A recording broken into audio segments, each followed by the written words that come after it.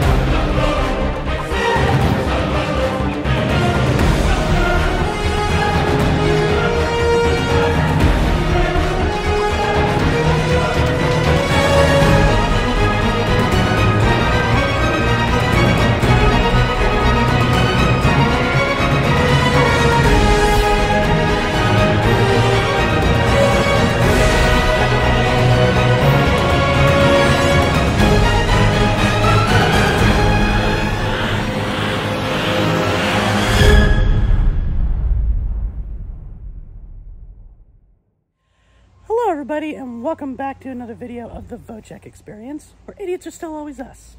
Always me. I'm always going to be the idiot. You should know that by now. And of course, I am out here in my yard uh, doing this video. Um, I just wanted to give you guys an update that, yes, indeed, my wife Sara did come home yesterday. So that's a good thing. It's a good thing she finally got home. She was in there for like a week and a half. Um, that was certainly something that we were not expecting when we took her to the emergency room um, that day. But, you know, things happen. You know, you learn things when you're in there and all that good stuff. Uh, so, uh, anyways, uh, like I said, she came home yesterday. Um, but she still has a long road ahead of her, as in, you know, recovery, maintaining, you know, herself, I guess is the right word to say. I don't know. But, um, but yes, she still has congestive heart failure. Uh, that's something that I don't think is really going to go away. Um, so she is going to have to be taking care of that, uh, taking medication for that and everything. So, so yeah, there's that. Uh, and then we found out that uh, somewhere down the line, not sure when, but somewhere down the line, she is going to have to have heart surgery because one of her valves in her heart isn't working the way it should and getting the blood pumped in there the way it should either. So, uh, so she's going to have to have that operated on at some point. Not sure when. That's not something that's coming up in a couple of weeks or anything, but it's going to happen at some point. We just don't know when yet. But of course, I'll keep you all updated on that. And uh, the other thing is, too, is that uh, she's going to be on blood thinners. Uh, I'm assuming probably for the rest of her life now, uh, because they did find a blood clot in her lung. So the only thing to get rid of that would be blood thinners. So they put her on blood thinners. So there's that too. Um, and uh, she still has her anemia. Let's not forget that. She still has her anemia. Uh, so there's that. She's going to have to maintain that as well. But all in all, I'm just glad that she's home.